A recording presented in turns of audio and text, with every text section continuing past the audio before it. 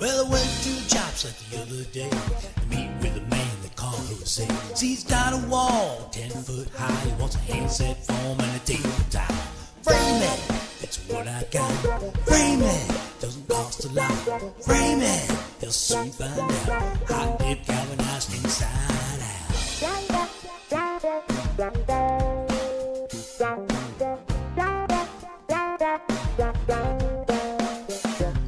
took out my sample, threw down my book, showed him